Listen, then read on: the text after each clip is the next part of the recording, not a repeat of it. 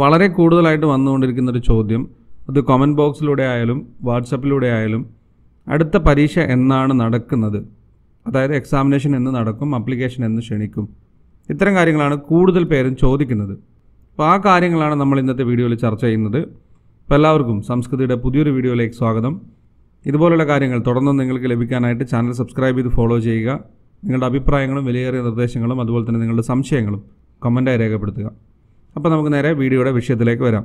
അപ്പോൾ സാധാരണ രീതിയിൽ നമ്മുടെ പരീക്ഷ കഴിഞ്ഞ് അതിന്റെ ആൻസർ കീ വരുന്നു അതിന്റെ റിസൾട്ട് വരുന്നു അതിനുശേഷം അതിന്റെ ഇ സർട്ടിഫിക്കറ്റ് വരുന്നു.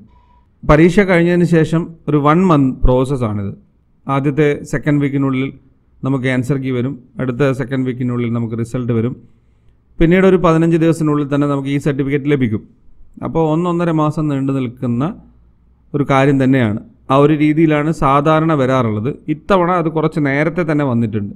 കാര്യങ്ങളെല്ലാം തന്നെ കുറച്ച് വേഗത്തിലാക്കിയിട്ടുണ്ട് എൻ ഡി എ എന്നാൽ ഈ സർട്ടിഫിക്കറ്റിന്റെ കാര്യത്തിലും അതുപോലെ തന്നെ N F O B C N F S C M A N F ഇതിന്റെ കാര്യത്തിലൊന്നും ലിസ്റ്റുകൾ പുറത്ത് വന്നിട്ടില്ല. J R F ലഭിച്ചവർക്ക് J R F award letter അതുപോലെ തന്നെ ഈ സർട്ടിഫിക്കറ്റ് വന്നതിന് ശേഷം നമുക്ക് എം എ എൻ എഫിന്റെയും അതുപോലെ തന്നെ എൻ എഫ് ഒ ബി സിയുടെയും എൻ എഫ് എസ് സിയുടെയും അതിന്റെ ലിസ്റ്റും വരുന്നതാണ്.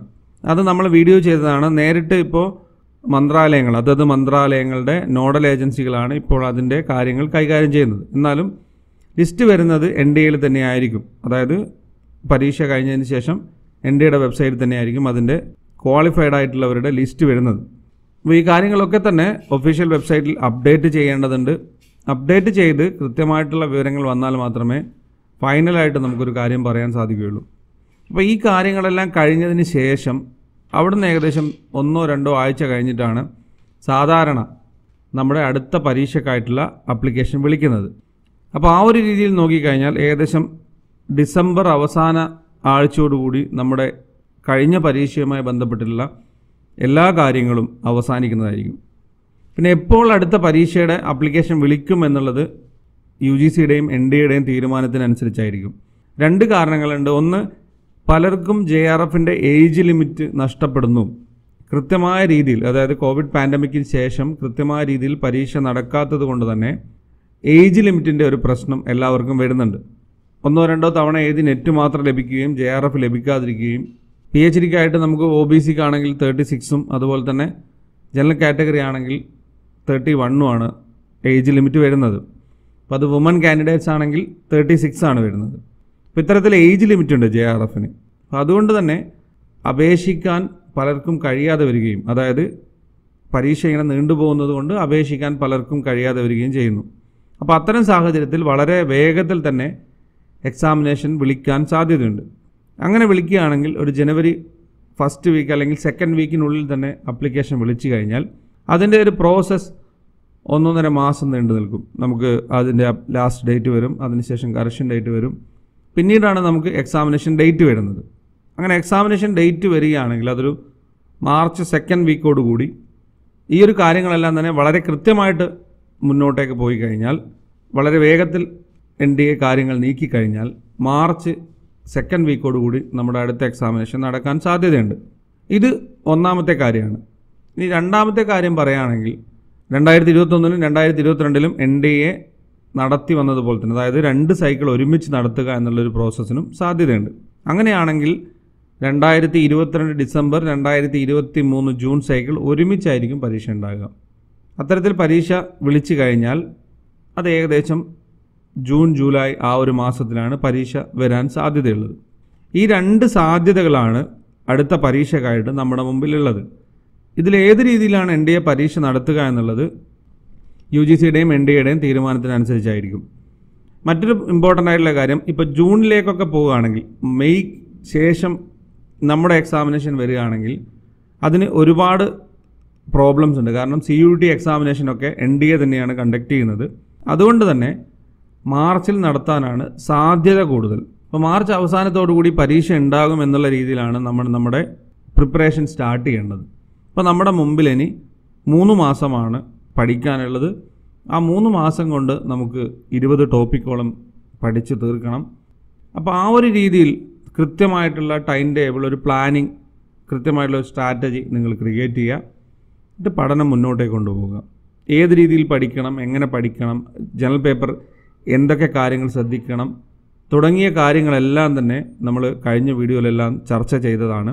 ആ വീഡിയോ നിങ്ങൾ കണ്ടിട്ടില്ലെങ്കിൽ കാണാൻ ശ്രമിക്കുക. മറ്റൊരു ഇമ്പോർട്ടന്റ് ആയിട്ടുള്ളൊരു കാര്യം നമ്മൾ അപ്ലിക്കേഷൻ ക്ഷണിക്കുന്നത് വരെ വെയിറ്റ് ചെയ്ത് അപ്ലിക്കേഷൻ ക്ഷണിച്ചതിന് ശേഷം പരീക്ഷാ ഡേറ്റ് വരെ വെയിറ്റ് ചെയ്ത് ഇത്തരത്തിൽ പഠനം നമ്മൾ മുന്നോട്ടേക്ക് കൊണ്ടുപോകും തോറും നമുക്ക് N D A net crack ചെയ്യാനുള്ള സാധ്യത വളരെ കുറഞ്ഞു വരികയാണ്. നമുക്ക് മുപ്പത് ദിവസത്തിനുള്ള രണ്ട് മാസങ്ങളിലൊക്കെ ക്രാക്ക് ചെയ്യാൻ പറ്റുന്ന ഒരു എക്സാമിനേഷൻ അല്ല യു ജി സി നെറ്റ് എന്നുള്ളത് നിങ്ങൾ കൃത്യമായിട്ട് മനസ്സിലാക്കുക. അപ്പോൾ തുടർച്ചയായിട്ട് പഠിച്ചു വരുന്നവരാണെങ്കിൽ നമുക്ക് അത്തരത്തിൽ സാധ്യതകളൊക്കെ തന്നെ ഉണ്ട്. എന്നാൽ ആദ്യമായിട്ട് പ്രിപ്പയർ ചെയ്യുന്നവരും അതുപോലെ തന്നെ തുടർച്ചയായിട്ട് പരീക്ഷ ചെയ്യുന്നവരൊക്കെ തന്നെ വളരെ നേരത്തെയുള്ള പ്ലാനിങ്ങോട് കൂടിയുള്ള പഠനം തുടങ്ങേണ്ടതാണ്. ആ ഒരു രീതിയിൽ പഠനം തുടങ്ങിയാൽ മാത്രമേ നമുക്ക് നെറ്റ് നേടാൻ സാധിക്കുകയുള്ളൂ ജെ ആർ എഫ് നേടാൻ സാധിക്കുകയുള്ളൂ ആ കാര്യം നിങ്ങൾ മനസ്സിലാക്കുക. ഓർക്കേണ്ട പ്രധാനപ്പെട്ട കാര്യം അപ്ലിക്കേഷൻ വിളിക്കും നമുക്ക് പരീക്ഷ എഴുതാൻ സാധിക്കും. വർഷത്തിൽ രണ്ട് തവണ നടക്കുന്ന പരീക്ഷ തന്നെയാണ്. നമ്മൾ ഓരോ തവണ മിസ് ചെയ്യുമ്പോഴും നമ്മുടെ ഒരുപാട് അവസരങ്ങളാണ് മിസ്സാവുന്നത് അതുകൊണ്ട് തന്നെ പഠനം വളരെ നേരത്തെ തന്നെ തുടങ്ങുക. പരീക്ഷ അപ്ലിക്കേഷൻ നമുക്ക് അയക്കാം. ആ ഒരു സമയമാകുമ്പോഴേക്കും നമ്മുടെ സിലബസിന്റെ പകുതി ഭാഗങ്ങളിൽ നമുക്ക് ക്ലിയർ ചെയ്യാൻ സാധിച്ചു കഴിഞ്ഞാൽ പിന്നീടുള്ള കാര്യങ്ങളൊക്കെ തന്നെ നമുക്ക് ഈസിയാണ് നമുക്ക് അവസാനത്തെ ഒരു മാസമെങ്കിലും റിവിഷനായിട്ട് സമയം ലഭിക്കണം. അവസാനത്തെ രണ്ടാഴ്ചയെങ്കിലും നമുക്ക് ക്വസ്റ്റ്യൻ പ്രാക്ടീസിനായിട്ട് സമയം ലഭിക്കണം. ഇത്തരത്തിലുള്ളൊരു പ്ലാനിങ് നിങ്ങൾ ചെയ്തു കഴിഞ്ഞാൽ സിലബസ് കൃത്യമായിട്ട് ഫോളോ ചെയ്ത് അത് പഠിച്ച് പൂർത്തിയാക്കി റിവിഷൻ ചെയ്ത് ക്വസ്റ്റ്യൻ പ്രാക്ടീസ് ചെയ്ത് ഇത്തരത്തിൽ കൃത്യമായിട്ടുള്ള ഒരു പ്ലാനിങ്ങോടുകൂടി നമ്മൾ പരീക്ഷാ ഹാളിലേക്ക് പോവുകയാണെങ്കിൽ നമുക്ക് അടുത്ത തവണത്തെ പരീക്ഷയ്ക്ക് തന്നെ നെറ്റ് ക്ലിയർ ചെയ്യാൻ സാധിക്കും. ഇപ്പോൾ കുറേ ദിവസങ്ങളായിട്ട് ചോദിക്കുന്ന ഒരു ചോദ്യം ഇത് തന്നെയാണ്. അടുത്ത പരീക്ഷ എന്നാണെന്നുള്ളത്. അപ്പോൾ അടുത്ത പരീക്ഷയുമായി ബന്ധപ്പെട്ടിട്ട് ഇത്തരം കാര്യങ്ങൾ മാത്രമേ പറയാൻ സാധിക്കുകയുള്ളൂ. അപ്പോൾ മറ്റുള്ള കാര്യങ്ങളെല്ലാം തന്നെ ഒഫീഷ്യലായിട്ടുള്ള ഡിക്ലറേഷൻ വന്നതിന് ശേഷം നമുക്ക് വീഡിയോ ചെയ്യാവുന്നതാണ്. ഈ സർട്ടിഫിക്കറ്റും അതുപോലെ തന്നെ N F O B C N F S C M A N എഫിന്റെ കാര്യങ്ങളൊക്കെ തന്നെ വെബ്സൈറ്റിൽ ഉടൻ തന്നെ അപ്ഡേറ്റ് ആവും. അപ്പോൾ നമ്മുടെ ക്ലാസ്സുകളും നോട്ടുകളും ഒക്കെ തന്നെ വെബ്സൈറ്റിൽ അവൈലബിൾ ആണ്. കോഴ്സുകൾക്ക് ജോയിൻ ചെയ്യാൻ വേണ്ടിയിട്ട് നിങ്ങൾക്ക് നമ്പറിലേക്ക് മെസ്സേജ് അയക്കാം.